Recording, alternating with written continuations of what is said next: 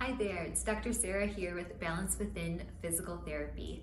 Today I wanted to chat a bit about how your core and pelvic floor can play a really important role with headache, neck, and jaw pain.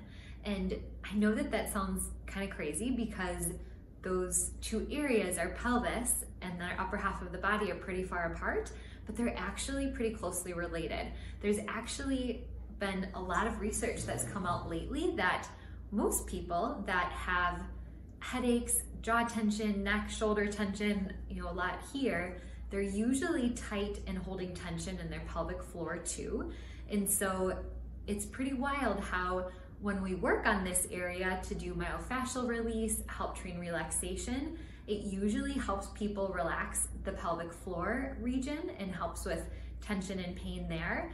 And the neat thing is that it's actually a two-way street where when oftentimes if people come in with pelvic pain, tailbone pain, things like that going on, and we help them learn how to relax those muscles and perform some gentle myofascial release to loosen things up, it's super common that I'll hear from them that, oh my gosh, my headache pain is better, my jaw tension's better, this tension through my neck and shoulders is better, and you didn't even touch that. And it's related. So that's a kind of neat, crazy magical thing in our body.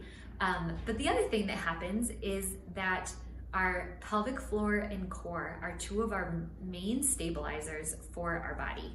So when these muscles are supporting us really well, that pelvic floor is like a bowl that supports us from underneath, and then the abdominals, our diaphragm, that whole cylinder of our body needs to be able to stabilize so that we can feel like we have a nice strong midsection to operate off of instead of feeling like we're like Gumby through there.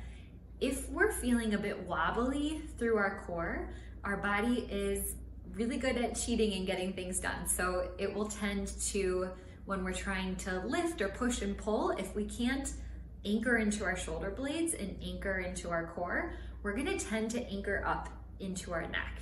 And so as you can imagine, that creates a lot of tension, it tugs, it pulls, it, you know, we get tension through here, and then as all of this tension happens, then it creates a tug of war, we get tension here. It does not feel great. So as crazy as it sounds, one of our favorite things to do with people with headache, TMJ problems, neck and shoulder tension is to also teach them how to breathe properly, how to engage their abdominal muscles, how to stabilize through the entire core and the pelvic floor so that they can get supported from underneath and then learn how to anchor into those shoulder blades and keep the neck relaxed when they're doing all sorts of daily activities.